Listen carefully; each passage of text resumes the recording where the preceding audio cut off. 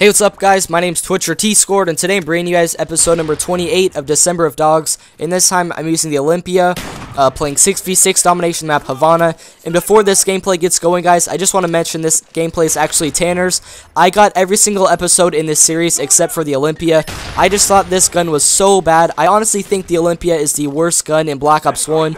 You only get two shots, the range is really bad, the damage is really bad, and the gun is just horrible in general. I can hardly even get one kill with this gun, so I had Tanner go out and try to get dogs with the Olympia, and he managed to actually pull it off, so every single episode in this series, guys, all 30 of them except for the Olympia, I got all those personally, and this one is Tanner, so I'm actually really thankful he managed to get this gameplay.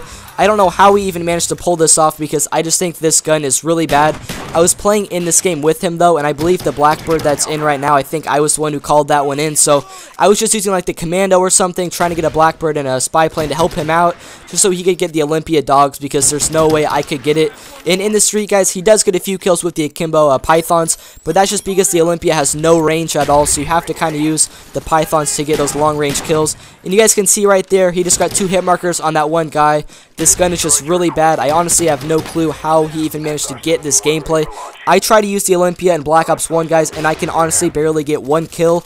I tried to use it the other day just to have some fun and maybe go for dogs myself, just kind of as a personal achievement, and I could only get about a 4 gun streak with this gun before I just kind of raged and got so mad because, you know, the range on this gun is so bad and the damage is awful as well. In this gun, it's just probably the worst gun ever in Black Ops 1. There's some shotguns in every Call of Duty game that are actually really good, like when I play MW3, I can use the Striker and the SPAS 12 and I can actually play really well. I have some MOABs with some shotguns in MW3, but I feel like in Black Ops 1, the shotguns were just really bad in this game.